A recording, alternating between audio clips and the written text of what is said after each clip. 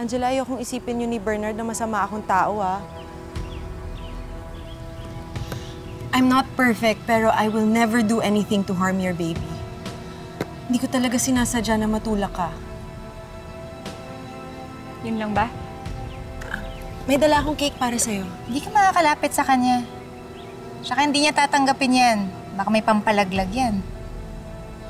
Jessie naman, hindi ako utak kriminal. Angela, chocolate cake. Favorite mo.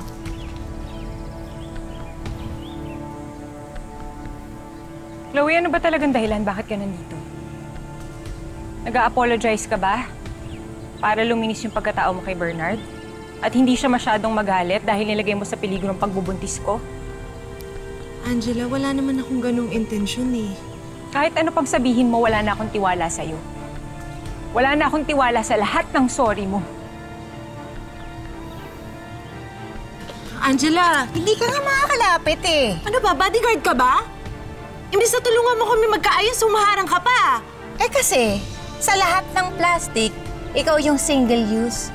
Tinatapon at ipinagbabawal na. Ah! Oh my God!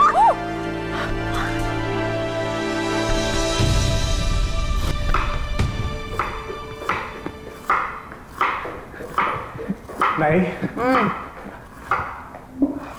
Mag-uusap na ho kami ni Angela. Mukhang gusto niya makipag-ayos sa akin. Yun bang sinabi niya sa'yo? Paano kung hindi? Uh, siya naman yung unang tumawag eh. Eh bakit na eh? Eh paano kasi kagabi sa ospital? Tinanggap niya yung calling card nung abogadong mag-aayos ng annulment niyo eh. Alam kong magastos ang annulment, pero don't worry. Sagot ko lahat ng gastusin. Just please, this time, choose yourself.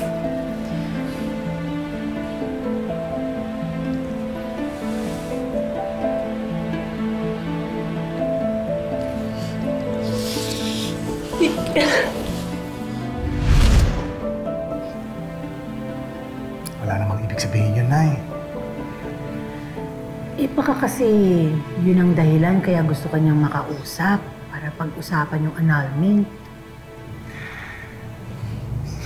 Nay, nung tumawag sa akin si Angela, sa boses pa lang niyan, alam kong hindi siya makikipaghiwalay sa akin. Sana nga anak. Sana tuloy-tuloy na yung pag-aayos ninyo. Ayun!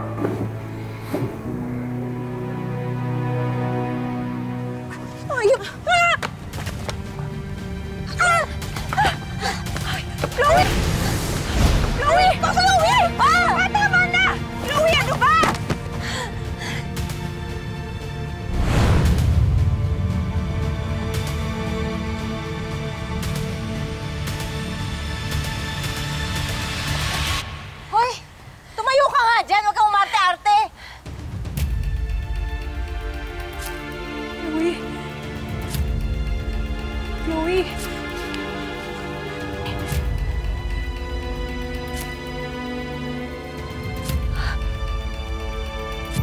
Jessie, may dugo.